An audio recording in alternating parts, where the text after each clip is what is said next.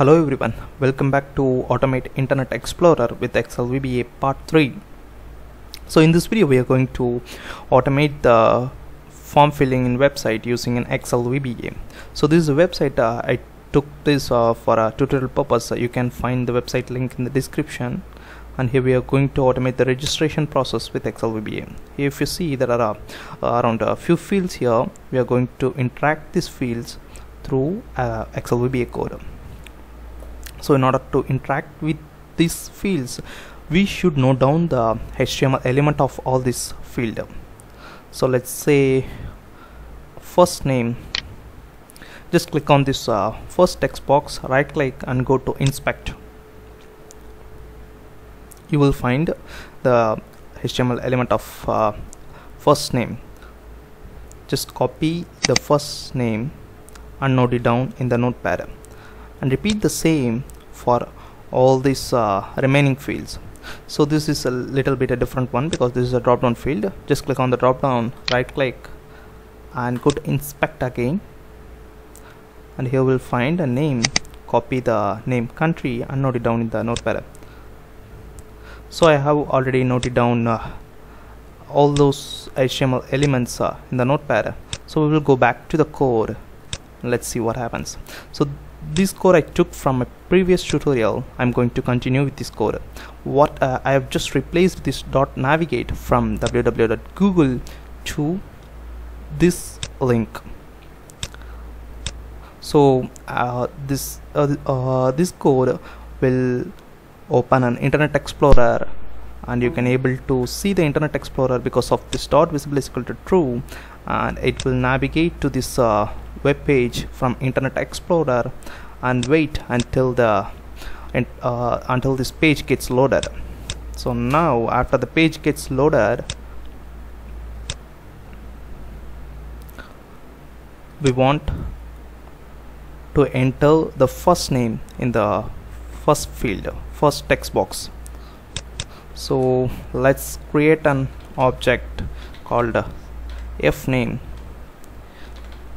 and assign the HTML element of this first name to this object f name.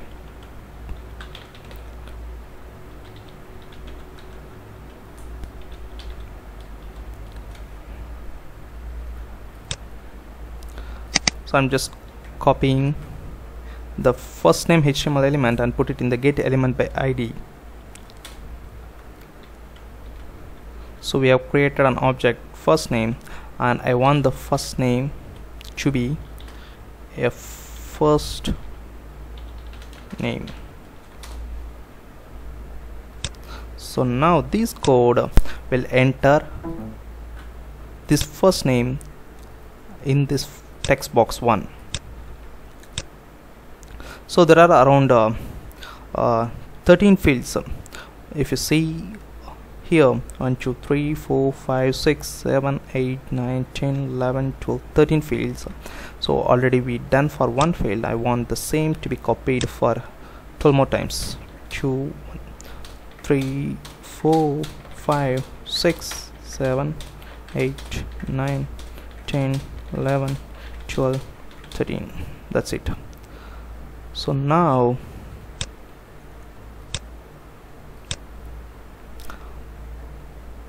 second one is a last name. Just copy the HTML element of the last name and go back and give here. Also simultaneously I am changing the object to be a last name. And last name I want the last name to be a last name. Next one is phone. Here we have to give a phone number. I'm just changing the HTML element to be a phone and also some object as well. So here we want to enter a phone number. Let's say some any numerical value. And next one is a username. I'm not sure what it is. It's an email ID so here we have to give an email ID just enter a test at gmail.com next one is an address 1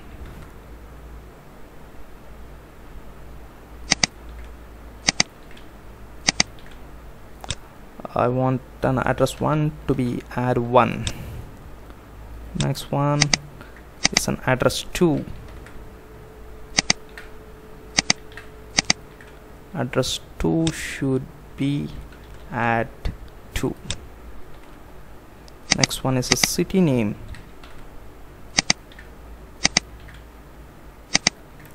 Let's say cts uh, Tim. Next one is a state.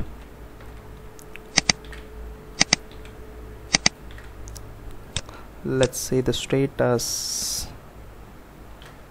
Iowa. And next one is a postal code. Here we have to give a postal code which means a numerical value. Let's say 45345 and next one is a country. But if you see here country is not a text box it is a drop down so as of now just replace this with country. But this code won't set the country name here. We will come back to this part later after uh, filling the remaining two. So next one is after country we have three fields username. That is an email here.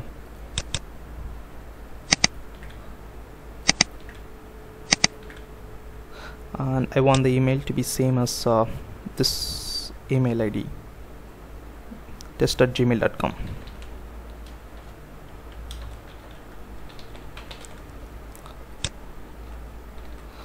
second one is a password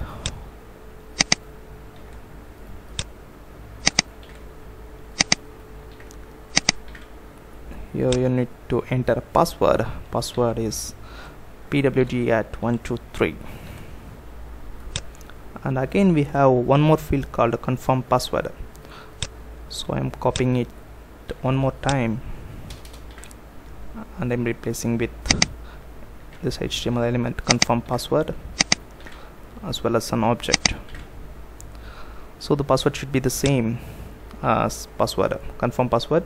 Make sure that confirm password is same as this password object. Pwd8123 and now we will go back to this difficult country part. If you see this is a drop down and this HTML element country hold down contain all these countries. So we want to pick a country from the list. We cannot able to we cannot send a text other than the uh, country which gets stored here. So we should use a for loop for this case. So for i is equal to 1 2 I want the for loop to iterate from the first country to the last country in this uh, drop down so first country start here as Albania and I want the for loop to iterate from Albania to Zimbabwe so in order to do that I should use here country refer this object country dot options dot length. So this country dot options dot length code return the number of countries which get stored in the uh, HTML element dropdown. So once we determine the country we should use a for loop to iterate and here we want to using an if loop I want to select a country from the list. So country dot options. Here options I uh, iterate from starting point to the ending point. If country dot options I dot text. Here you need to pass the country which want to be selected from the drop down which you want to be selected from this drop down. So let's say I want the country to be as India. So I want I want uh, VBA code to select the country India from this uh, drop down. So I'm giving the text as India here. Oops. If country of dot options i dot text is equal to India then country dot selected index is equal to i which means this country dot selected index find the index of index index means the position of the country India from this drop down. So once it determine the position then it select the India from the drop down. So once everything is done we don't want the for loop to iterate again and again. So here I want to end the for loop using exit for. And I am ending the if statement also a for statement. Let's execute the code and see what happened so now it's opening the internet explorer. Once it opened it pre-fill the value first name last name and it's also enter phone number email address one address two city street postal code country and everything is entered. So that's it. We are done but we want to enter the submit button as well. So we will add a code to submit this form. So in order to submit the form we should use a document.forms.submit method